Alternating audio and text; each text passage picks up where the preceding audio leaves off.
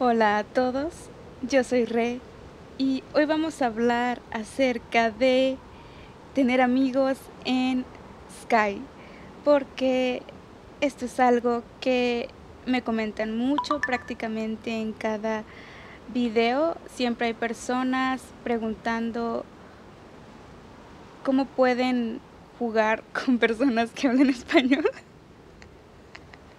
Ay, perdón amigos, se me va la onda. Y pues sí, que hablan español porque en el juego hay muchas personas eh, chinas y japonesas y la verdad sí es muy difícil encontrarte a personas que hablen español. De hecho yo desde todo el tiempo que he jugado solamente una vez me he encontrado con una persona que habla español. Y me refiero a que casualmente por ahí jugando me la encontré. Así que yo vengo con dos alternativas. Eh, puedes elegir la que más te convenga. La primera alternativa es unirte a una comunidad, que esto es algo que yo ya había comentado en algún video. Puedes unirte en alguna comunidad. Hay muchas comunidades, hay comunidades en Facebook, hay grupos en WhatsApp, y hay comunidades en Discord. Yo tengo una comunidad en Discord y voy a dejarte el link en la cajita de descripción por si te quieres unir. La verdad es que es una comunidad muy bonita. Mm, ahora, para las personas que están un poco perdidas y que no saben qué es Discord, Discord es una aplicación, es una red social donde hay chats donde puedes hablar con eh, muchas personas y también puedes hacer llamadas. Y eso está genial porque puedes jugar Skype mientras estás en llamada con tus amigos. Y eso eso me encanta. Mm, ahora em, si tú no puedes o no quieres descargar Discord, tengo otra alternativa para ti. Voy a dejar el espacio en comentarios para que compartas tu código QR y así otra, otras personas puedan tomarlo y agregarte. Si tomas un código, por favor te pediría que comentes que lo has tomado para que otras personas sepan que ese código ya está canjeado.